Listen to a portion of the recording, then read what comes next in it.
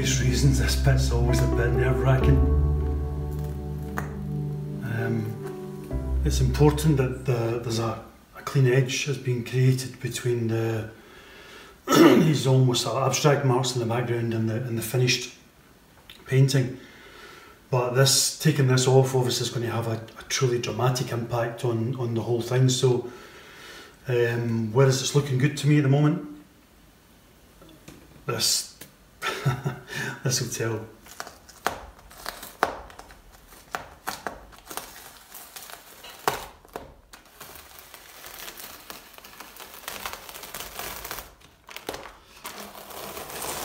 I suppose taking a huge chance because obviously there was so much work has gone in already on this.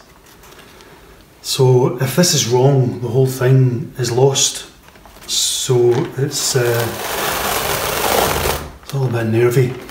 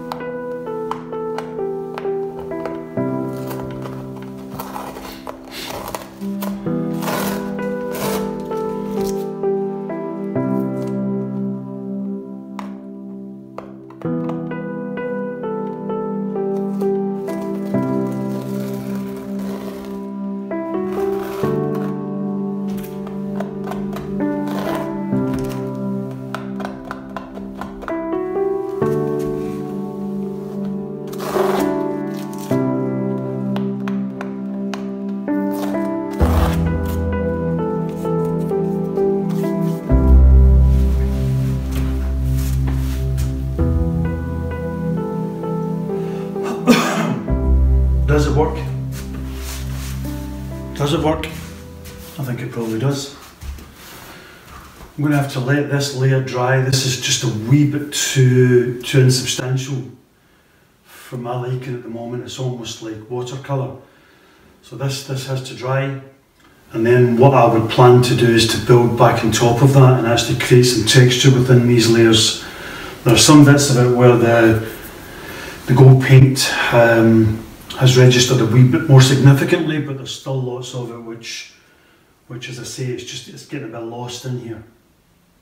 Okay, good, good so far.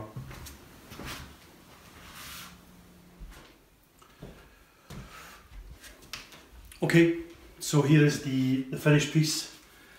Um, I'm happy with it. There's always a there's always a, a hesitation I suppose with any painting, but um, in this, in as far as it's ever possible to, to be completely happy, I, I'm happy with the direction that this has gone in.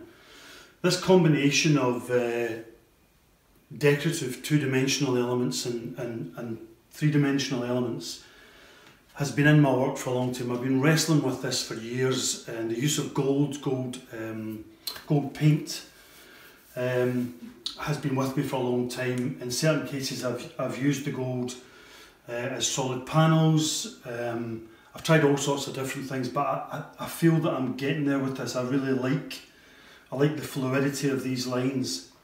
Interestingly, uh, there's a quite a contrast between there's another painting with the same name, uh, featuring the same model, where, I, where I've used essentially the same elements in the background but what I've done in that case is to use the negative space um, to paint the areas between the, the, elements that are um, the positive elements.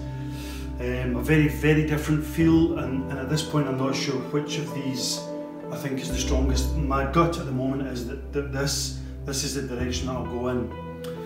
Um, has a lovely, I think almost like a kind of Japanese um, woodcut feel to it which is which is kind of what, i what I intended.